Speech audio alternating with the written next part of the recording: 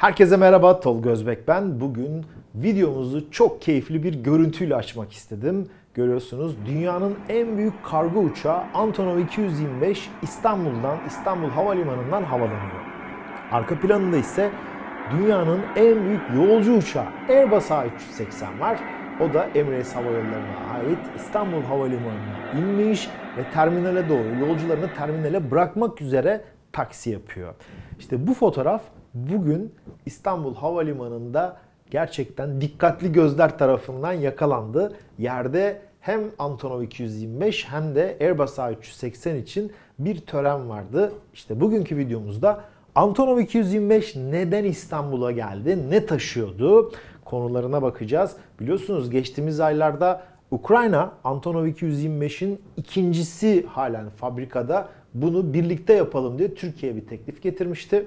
Biraz Antonov 225'e bakacağız.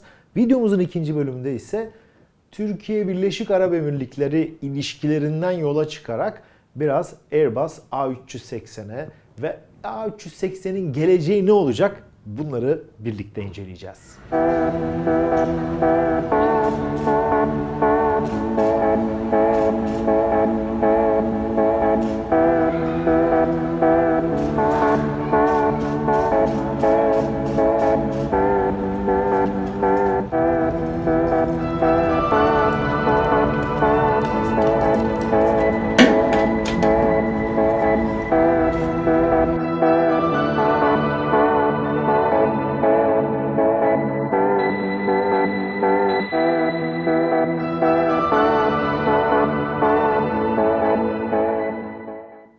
Videomuzun başında da belirttiğimiz gibi Antonov 225 bugün İstanbul Havalimanı'na ilk inişini gerçekleştirdi.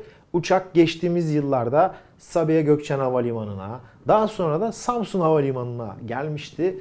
Ee, Sabiha Gökçen'e yaptığı iniş yanlış hatırlamıyorsam teknik amaçlı yani yakıt almak amaçlı bir inişti. Samsun'a da metro için vagon getirmişti Samsun'a ve sonrasında da bu son 10 yıllık 15 yıllık süre içerisinde de üçüncü kez Antonov 225 Türkiye'ye gelmiş oldu. İstanbul Havalimanı'na inmiş oldu.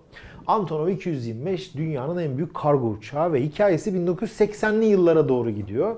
1980'lerde Sovyet Sosyalist Cumhuriyetler Birliği döneminde uzay mekiği, Rus uzay mekiği buranı taşımak üzere tasarlanmıştı. Ve aynı zamanda da büyük kargo uçakları, e, askeri amaçlı kullanılacak askeri ekipmanları, tankları dünyanın farklı bölgelerine götürmesi hedeflenmişti. Ama tabii ki Sovyet Sosyalist Cumhuriyetler Birliği'nin ömrü vefa etmedi. Antonov 225'in ilk uçuşunu gördü. Sonrasında dağılma sürecine girdi ve Antonov 225 Ukrayna'da kaldı. Ukrayna'nın başkenti Kiev ve Kiev merkezli dünyanın en büyük e, yolcu ve kargo uçağı imalatçılarından biri olan Antonov şirketi var. Antonov şirketinde bu AN-225 kaldı ve 1994'e kadar uçuruldu. 94'te Sovyetler Birliği'nin dağılması, işte ekonomik düzenin tekrar geri gelmemesi, ayrılıkla ilgili yaşanan sorunlar, maddi ağırlıklı problemler nedeniyle Antonov 225 geri indi ve 2001'e kadar uçmadı. Sonrasında o dönem yaklaşık 20 milyon dolar harcanarak uçak tekrar uçabilir hale getirildi. Sonrasında da bu geçtiğimiz 20 yıl boyunca e, Antonov şirketinin Antonov Airlines diye bir alt şirketi var. Operasyonu bu şirket tarafından yapılıyor ve dünyadaki tek olan bu uçak farklı farklı kargoların taşınmasında kullanılıyor. Kargo kapasitesi tam 250 ton yani iki tane 747'ye yakın neredeyse kargo oluyor. Tek parça olarak taşındığı zaman ise 189 tonluk tek parçayı kabininin kargo bölümünün içine alıp havalanıyor. 6 kişilik mürettebat var. İşte aralarında pilotlar, uçuş mühendisleri, e, seyir seferciler, telsiz operatörleri gibi bayağı kalabalık uçuyorlar ve tabii ki bu ekip içerisine yükleme uzmanları, load master olarak adlandırılan yükleme uzmanları da bu ekiple birlikte görev yapıyor. E, günümüzde Antonov 225 bu şirket tarafından e, verimli bir şekilde pazarlanıyor ve adeta uçak yerde durmuyor. Bu uçak geçtiğimiz günlerde Kiev'den havalandı. Kazakistan'da Almatya'ya indi. Almatı'dan Çin'e Tianjin'e geçti ve dönüş yolculuğunda boş olarak gerçekleştiriyor. Boş olarak Tianjin'den İstanbul'a geldi. İstanbul'da yakıt ikmali yaptı. 2 saat yerde kaldı. Uçak dediğim gibi boş. Ve bu 2 saat içerisinde yakıt tankları Antonov 225'in tam 300 e, ton ağırlığında yakıt alabiliyor. Yani yerde uçağın yakıt tanklarının doldurulması bile nereden baksanız 2 saate yakın bir süre sürüyor. Ee, uçak yakıt aldıktan sonra Linz'e devam etti. Linz'ten de Kiev'e doğru geçecek ve bu uçuşunu, seferini tamamlamış olacak. Biraz önce de belirttiğim gibi Antonov 225'ten bugüne kadar bir adet imal edildi. İkinci uçak ise yüzde yaklaşık 70'inin tamamlandığı Antonov tarafından söyleniyor. Uçak yerde, fabrikada tamamlanacağı ve tekrar uçacağı günü e, arıyor. Ne zaman olacak o tabi bilmiyoruz. Çünkü bunun içine çok ciddi bir para yatırmak gerekiyor. E, Antonov şirketi geçtiğimiz aylarda Türkiye'ye bir teklif getirmişti. Malum işte Türkiye ve Ukrayna özellikle savunma konularında, savunma sanayi konularında çok yakın günler yaşıyor. İşte Akıncı'nın AI-450 serisi turbopropları Ukrayna'dan aldı. Türkiye gemi ihracatı gerçekleştirdi. Aynı zamanda Baykar TB2 satışı gerçekleştirdi ki Ukrayna'da bir üretim hattının kurulması da gündemde. Bu tür sıcak ilişkilerle birlikte Antonov Türkiye'yi yakından takip ediyor ve Antonov 225 ile ilgili bir teklif getirildi. Fakat da bu teklif ne kadar ekonomik, ne kadar e, hayata geçirilebilir bunlar soru işareti. Henüz bu teklife Türkiye olumlu bir cevap vermiş değil. Antonov 225 e, benim tahminimce daha uzun yıllar 6 motoruyla işte 250 ton kargo kapasitesiyle epey bir gündemi uçtuğu sürece tutacak gibi. Çünkü bu uçağın çok sayıda meraklısı var. Ve gittiği havalimanlarında spotter olarak adlandırılan havacılık fotoğrafçıları, görüntü alan kişiler tarafından dikkatle takip ediliyor. Çok popüler bir uçak ve bu popülaritesini de uzun yıllar devam ettirecek gibi duruyor. Antonov şirketinde hatırlayacaksınız geçtiğimiz aylarda da bir video yapmıştık. Dünyanın en büyük turboprop kargo uçağı olan Antonov 12 var. Antonov 225'in 4 motorlu ufak modeli Antonov 124 gibi farklı farklı uçaklar dünyaya kargo taşımak amaçlı hizmet veriyor. Bunu da belirtmemizde fayda var. Son bir bilgi. Uçak 250 ton kargo aldığı zaman e, kalkış için 3500 metrelik piste ihtiyaç duyuyor. Boş olduğu zaman 3000 metrelik pistlere çok rahatlıkla inip kalkabiliyor. Tam yüklü ki ağırlığı o zaman nereden baksanız 590 tona kadar çıkıyor maksimum kalkış ağırlığı. 3500 metrelik pistten havalanabiliyor. Tam yüklü olduğu zaman kargo uçaklarının menzilleri de kısalıyor. Tam yüklü Antonov 225'in uçabileceği maksimum menzil 4000 kilometre. Boş olarak bu menzil oldukça uzuyor. 300 ton yakıtla birlikte 14.000 kilometre gibi inanılmaz bir menzile Antonov 225 gidebilme özelliğine sahip. Uçak saatte 800 kilometre hızla uçabiliyor. 11.000 metre irtifaya kadar çıkabiliyor ve biraz önce de belirttiğim gibi 6 adet motoru var. 6 adet Progress D18T turbofan tipi motorun her biri 51.600 libre itiş gücünde ancak bu kadar devasa kargo yüklerini bu kadar 6 jet motoru havada ancak taşıyabildiğini belirtelim. Gelelim videonun ikinci bölümüne. Videonun ikinci bölümünde Antonov 225 kalkarken arka planda Airbus A380'i görüyorsunuz. Emirates boyalı bir uçak bu ve Emirates 1 Ekim'den itibaren İstanbul Havalimanı'na Dubai'den Airbus A380'lerle uçma izni almış durumda.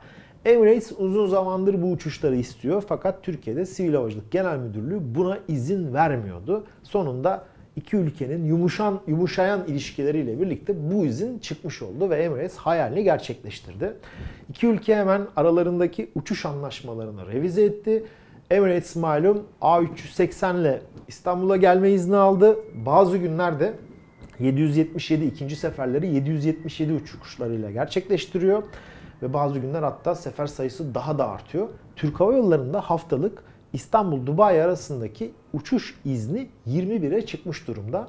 Benzer bir izin daha düşük maliyetli operasyonu gerçekleştiren Türkiye'den Pegasus, Birleşik Arap Emirlikleri'nden de Fly, Fly Dubai şirketlerine verilmiş durumda.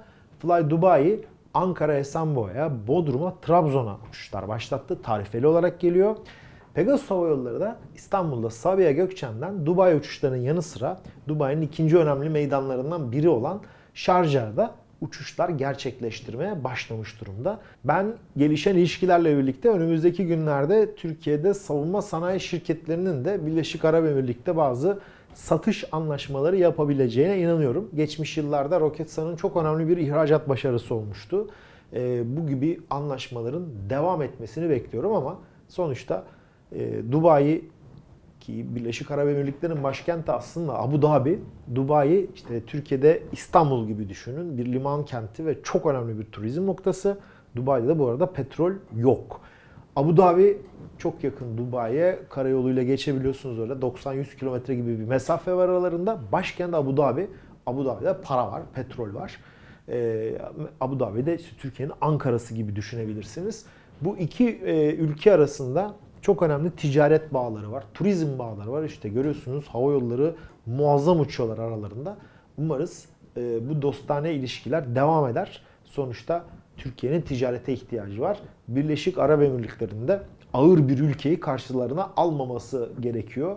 Çünkü dünyada dengeler giderek değişmiş durumda. Uluslararası ilişkilerden tekrar havacılığa doğru dönecek olursak Emirates e, aslında Airbus A380 uçaklarının en büyük kullanıcısı. Yüzün üzerinde filolarında A380 bulunuyor ve malum A380'in de imalatı bu yıl sonu itibariyle kapanıyor.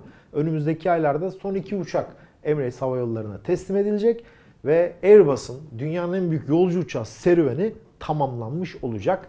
Airbus çok daha fazla uçak satmayı planlarken dünyadaki ekonomik düzendeki değişiklikler, havayolu konseptlerindeki değişiklikler ona 250 e, civarında A380 imal edilmesine neden oldu. Hat kapanıyor ve gerçekten Airbus için de e, zor bir durum olduğunu belirtmemizde fayda var. Emirates peki bu A380'leri ne yapacak? Emirates'in filosunda tek koridorlu işte Boeing 737 veya Airbus A320 serisi gibi uçak bulunmuyor. Uçakların hepsi Boeing 777, A380 gibi geniş gövdeli uçaklar. Ee, Emirates bunlarla kısa uçuyor ama yüksek doluluk yakalayarak, kargo taşıyarak bu eksikliğini kapatmak istiyor. Tabi İstanbul hattı da karlı önemli bir hat ee, ve Emirates de sonunda kendi hayalini 380 hayalini İstanbul'a taşıyarak bunu gerçekleştirmiş oldu. Genellikle operasyon şöyle yapılıyor. Emirates işte 2 saat 3 saatlik uçuşlara A380'i yolluyor. O uçak geri geliyor. Arkasından gece yarısı veya sabahın erken saatlerinde bu uçaklar Asya'da veya Amerika pazarındaki uzun menzilli uçuşlara gidiyor. Bazı A380'ler de filoda ayrılmış durumda. Bu A380'lerin de koltuk kapasitesi arttırılıyor. Örneğin e, Dubai'den Hindistan'a yapılan uçuşlarda koltuk kapasitesi 650'ye kadar çıkartılan A380'ler kullanılıyor. Böylelikle yoğun bir ekonomi sınıfında düşük fiyata bilet satabilmek mümkün hale geliyor. Çünkü bu uçuşlarda pek fazla first class müşterisi yok. Zaten uçakta da o hani duşuyla, yatağıyla anlattığımız first class bulunmuyor. Ee, business class var ve economy class var. Sadece iki ayrı sınıfta bu hizmet verilmiş oluyor. Standart A380'lerde ise o işte görüntülerini sizlerle paylaştığımız içinde duşu olan first class gibi böyle lüksün artık e, sınırının neredeyse olmadığı yerlere doğru gidiyor. Zaten Emirates'in amacı bu tür first class hizmetiyle kendi uçağı olan iş adamlarına, iş insanlarına uçağı pazarlayabilmek. Zaten bu işte 8 koltuklu, 10 koltuklu bir first class'ta 3-4 koltuk satsanız bile hava yolu açısından çok ciddi bir ciro anlamına geliyor. Evet bugün e, İstanbul Havalimanı'nda çekilmiş bir fotoğraftan Antonov 225'ten başladık. Airbus A380'e doğru devam ettik. Bu uçakları tabii ki Türkiye'de görmek çok önemli. Umarız bunun gerisi gelir. Daha fazla kargo uçağı gelir, daha fazla yolcu uçağı gelir. Çünkü bu tür hareketlikler arttıkça ülkenin turizmi, ekonomisi gelişiyor. Bu dönemde de gerçekten bu tür adımlara çok fazla ihtiyacımız var. Detaylı havacılık ve savunma konusundaki haberleri tolgozbek.com sitemizden takip edebilirsiniz. Telegram grubumuza üye olabilirsiniz ve aynı zamanda bizleri sosyal medyadan da takip etmeniz mümkün. Sorularınız, işbirlikleriniz için info.tolgozbek.com mail adresini kullanabilirsiniz. Yarın yeni bir videoda görüşmek üzere. Herkese sağlıklı ve mutlu günler diliyorum.